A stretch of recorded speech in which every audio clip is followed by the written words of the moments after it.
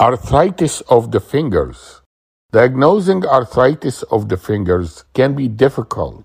Arthritis can affect any joint in the body, but it is commonly seen in the joints of the fingers.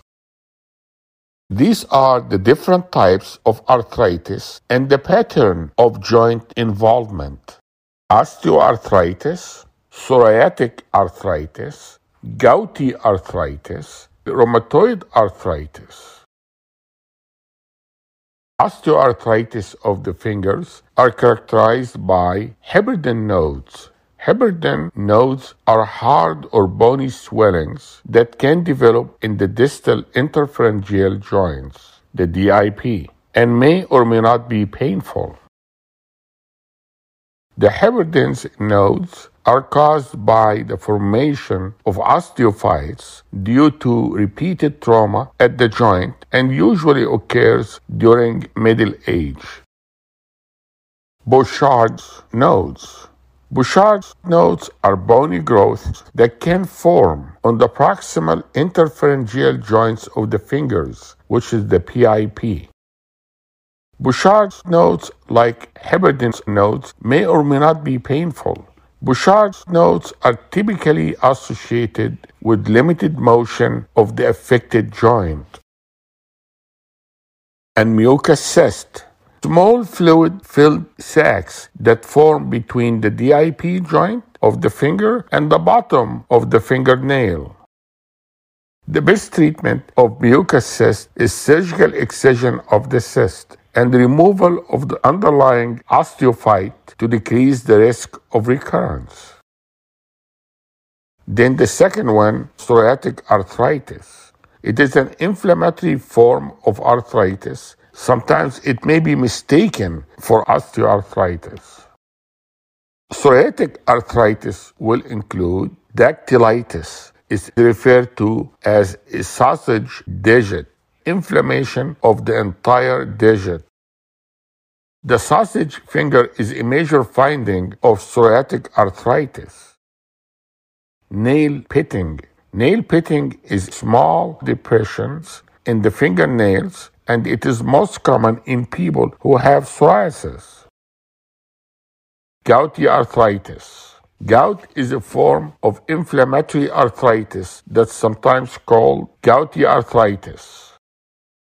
Gouty arthritis will mimic infection and may develop in people who have high levels of uric acid in the blood.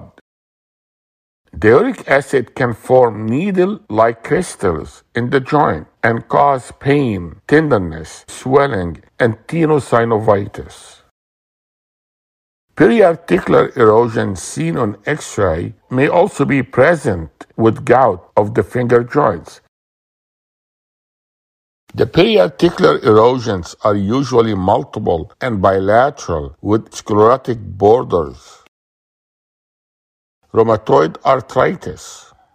Juvenile rheumatoid arthritis. The antinuclear antibody is positive in 30% of the time. Rheumatoid factor is negative in a child, and later on it may become positive. The child will have shortened digits.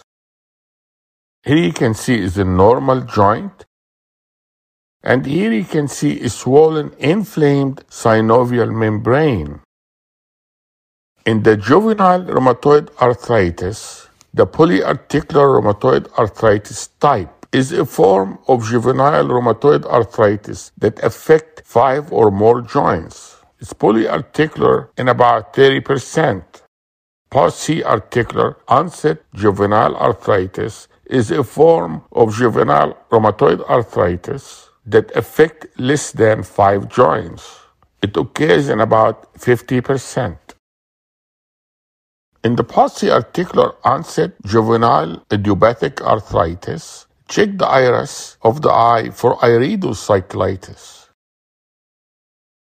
In the polyarticular rheumatoid arthritis, check the cervical spine for subaxial instability rheumatoid arthritis of the hand. It occurs more in females than in males. Rheumatoid arthritis has spontaneous remission and exacerbations, and the disease can have a systemic nature. Rheumatoid arthritis is typically polyarticular, bilateral, and symmetrical, and most commonly affect the hands and feet. The patient complains of pain and the stiffness of joints, especially in the morning, morning stiffness. The X-ray will show periarticular erosions at the time of diagnosis. Osteopenia and minimal osteophyte formation favors the diagnosis of rheumatoid arthritis.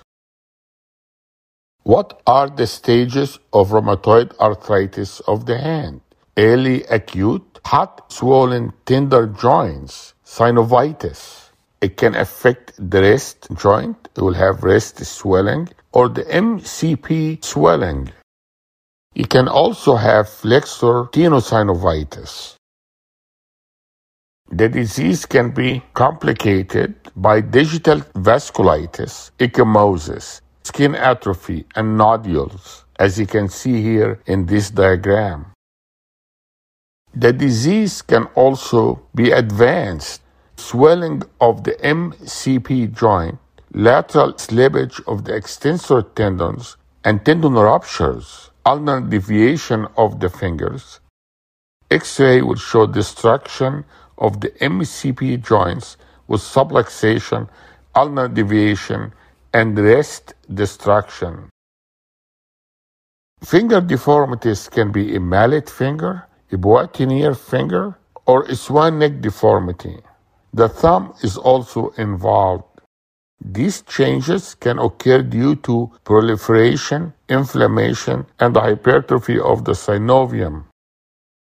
Involvement of the distal radioulnar joint is usually associated with rupture of the extensor digiti minimi. Thank you very much. I hope that was helpful.